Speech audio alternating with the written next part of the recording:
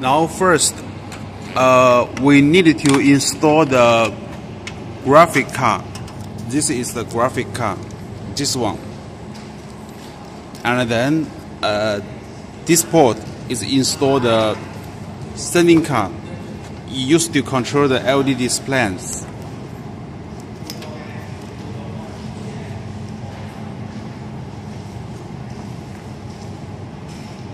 This is the uh, for for PC.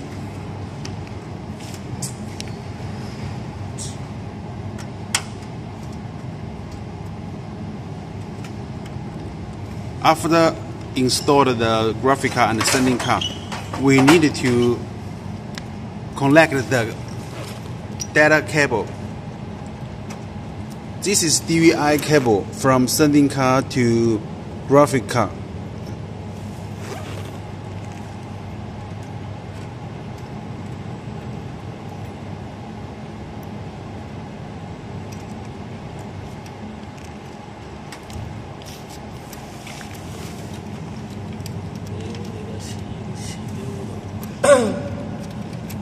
Sending card, graphic card, DVI cable collection, and then USB cable collection from sending card to computer, sending card, and then computer.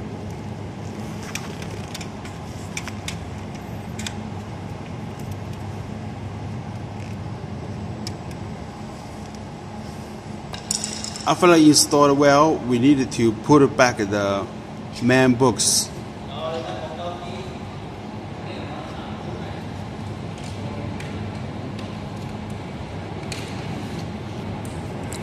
And this is the signal from sending car to the LED display to the receiving car, to the LED display.